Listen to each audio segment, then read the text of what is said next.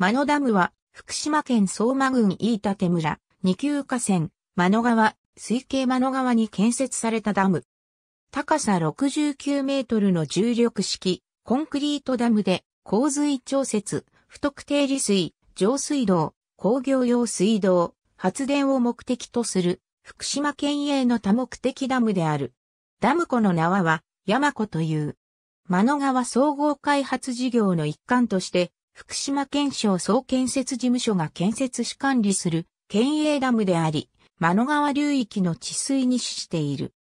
また、相馬市、相馬郡新地町、南相馬市鹿島区の生活用水として1日23,300立方メートルを供給しており、沿岸部の相馬中核工業団地の工業用水として1日59,700立方メートルを供給している。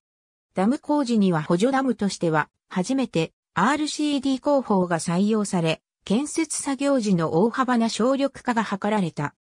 福島県企業局によりダム直下の間の発電所にて水力発電事業も開始され、後に東北電力参加の東海工業に事業譲渡された後、企業再編により現在は東北自然エネルギーが運営している。